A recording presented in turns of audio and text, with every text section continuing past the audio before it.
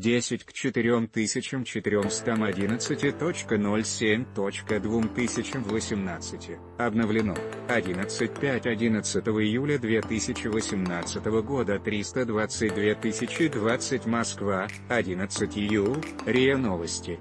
Правительство РФ попросило Госдуму рассмотреть до конца весенней сессии 80 законопроектов, заявил спикер Нижней Палаты парламента Вячеслав Володин.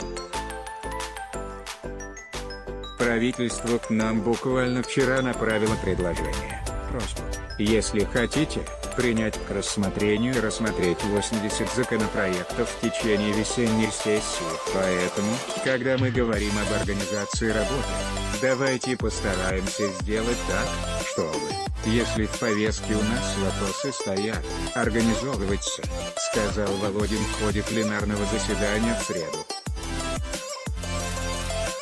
Спикер ГД также напомнил, что у депутатов до отпусков осталось не так много времени.